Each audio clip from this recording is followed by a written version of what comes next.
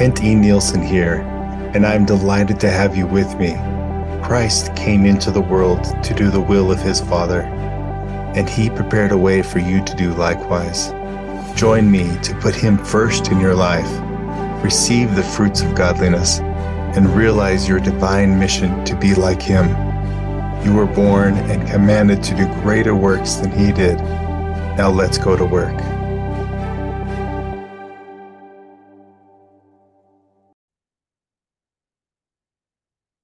Come to a place where I'm forced to think, as Napoleon Hill calls it. Here are his words quoting Andrew Carnegie. When men are forced through adversity and temporary defeat to change their habits and to think their way out of difficulty, my experience has taught me that a man is never quite so near success as when he, that which he calls failure has overtaken him. For it is on occasions of this sort that he is forced to think. If he thinks accurately and with persistence, he discovers that so called failure usually is nothing more than a signal to rearm himself with a new plan or purpose. Most real failures are due to limitations which men set upon their own mind, and if they have the courage to go one step further, they would discover their error. Outwitting the Devil, Chapter 1 by Napoleon Hill, emphasis added. And let's uh, let's continue. Thus, my thinking has led me to recognize God's hand in me no longer being an employee. In other words, as I'm no longer an employee as of today, um, I recognize God's hand. I now have the ability to put my all into the achievement of my definite chief aim, an aim I've been refining for the past month or so, and now share with you. Again, this is Kent's definite chief aim to point individuals seeking further light and truth to Jesus Christ, even the mark that they may come unto Christ and turn their weakness to strength and do greater works than he did. Why? Through Christ, excuse me, through Christ's infinite atonement, you have access to God as your mentor. You tap into his power and you become one with them in the process. How? Come unto Jesus by raising your sights to the master mark, then striving to emulate him by discovering, developing, and disseminating your talents for good continuously.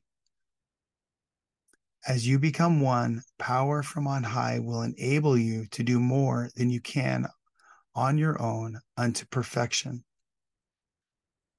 So, continuing with the podcast here. Thank you for listening in and for your support. Though we may have not met in person, it is a privilege to associate with you in talking about the weightier matters of life rather than the drops in the bucket. You and I are meant for more than we can imagine. So let's look to Jesus at, excuse me, Jesus the mark and allow him to stretch our vision on a personal note, I've been pushed and stretched much this past month as I've taken seriously the resolve to make Jesus the mark in every area of my life. Earlier in a previous podcast, I, I mentioned I've I struggled breaking through the 250 pound mark for the past six months or so. And in the past three weeks, I've not only blown by the 250, I'm now under 240 pounds. Yes, hurrah. Celebrate those little victories, as Blair Singer has taught me many years ago. God is good. Not only am I trimming down, but I'm more engaged in exercise, energy, and focus. Now I've been released from my job. It's like a green light to run full time. I've readjusted my schedule, and instead of putting an hour to three hours a day into the Jesus is the Mark movement, I can now put 10 plus hours in. I'm thrilled, excited, enthused, and filled beyond my own power. um, thanks to our Father in heaven. And again, I thank you for allowing me to be part of your life and hope that lighting myself on fire serves as a catalyst for you, not only to watch me burn, but to ignite the light of Christ in you, insomuch that you will turn your life over to the Lord and see what he can do for you. Parenthetically, the above aforementioned fire comment comes from a quote in my first book, which incidentally you can get for free at www.jesusisthemark.com. Anyhow, the quote comes from my first sales mentor who taught me, quote, light yourself on fire and people will come for miles and miles away just to watch you burn. While on this note of being a light, a friend told me the other day he struggled with receiving compliments and putting himself out to be a light to the world.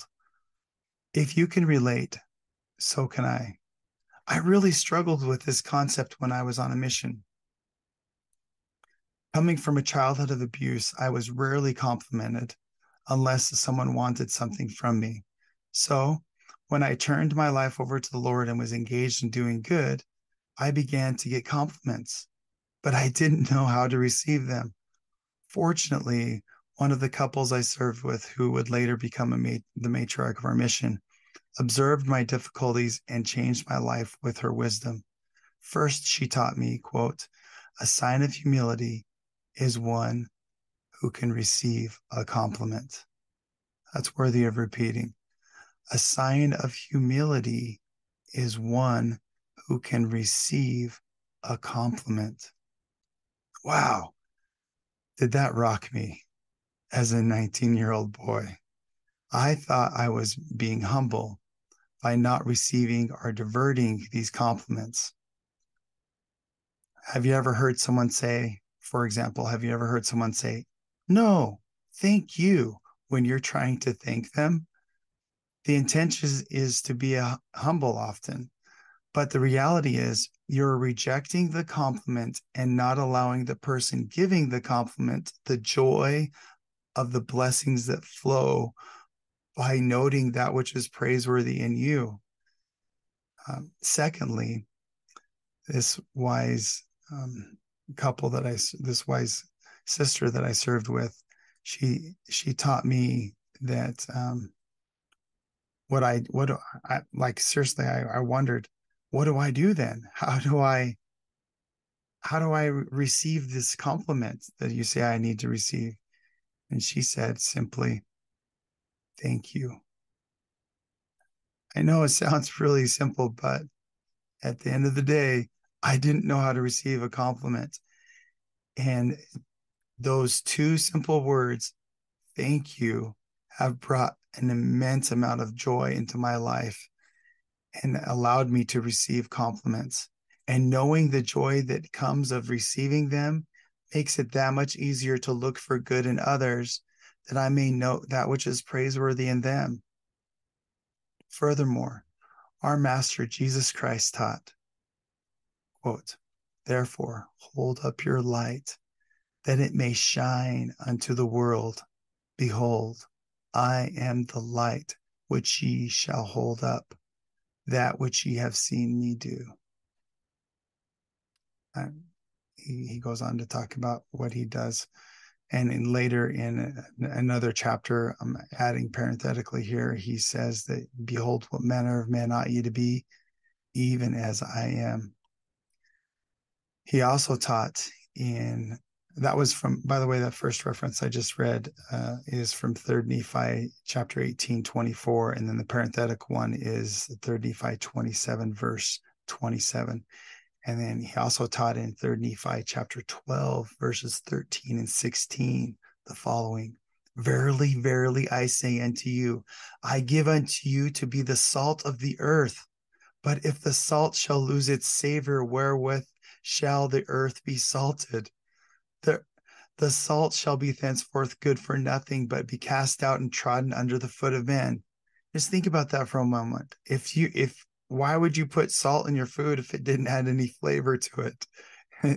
it and that's a what what purpose is there of being a light on the hill of being the salt to the earth if you're not adding salt if you're not adding flavor if you're not enlivening if you're not recognizing that which is good in others and letting them know that which is praiseworthy so that they can continue to be praiseworthy and to continue to be engaged which reminds me i'll add another parenthetic thought in the book called working with the law by um, uh, mr let's see raymond holliwell he's he he has an amazing chapter called the law of increase and in that in that chapter he discusses the the principle of praise. And when you give praise people want to do better than what they've done. They want to live better. They want to grow and be more than they can on their own. Yet when think got it for a moment so when someone criticizes you you want to shrink you want to hide you don't want to perform you are like fine i won't do anything. Um, so there's great power in recognizing good in others and letting them know what it is. Uh, so continuing with verse 14 here. Verily verily i say unto you i give unto you to be a light be the light of this people. A city that is set on a hill cannot be hid. Behold do men light a candle and put it under a bushel? Nay, but on a candlestick, and it giveth light to all that they are, all that are in the house. And verse 16, therefore let your light so shine before this people that they may see your good works and glorify your Father who is in heaven. In short, I invite you to turn your life over to the Lord. Allow Him to work wonders in your life. Recognize the failures are the false traditions of men at work in your life. You are meant to glorify Father by becoming like Him, not to please men, but to please Father do his work by making Jesus the mark in your life. And I promise you, you will find greater peace, power, and joy even amidst your trials. And you, among and among and mentioning that power as as well as receiving that power it also gives you the ability to overcome the world and I leave this, this message with you today. And, and uh, before I conclude, I, I, I go back to the start with life change.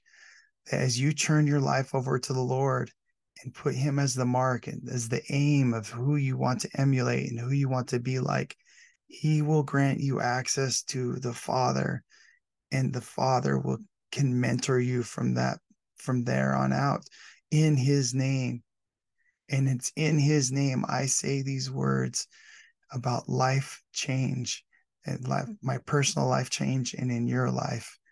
And in the name of Jesus Christ, amen. Thank you for joining me for a brief mental workout. Wise men do their mightiest works with their mental exertions. I encourage you to take time to ponder on the weightier matters of life and to govern your body with pure mental exertions, rather than having your body tell you what to do. You are welcome to connect with me further at my link in bio, where you can access my book, my social handles, my latest creative updates, and even request coaching services via email. I have been given much and am here to serve. Thank you, and God bless you to be fruitful in doing your mightiest works. Good day.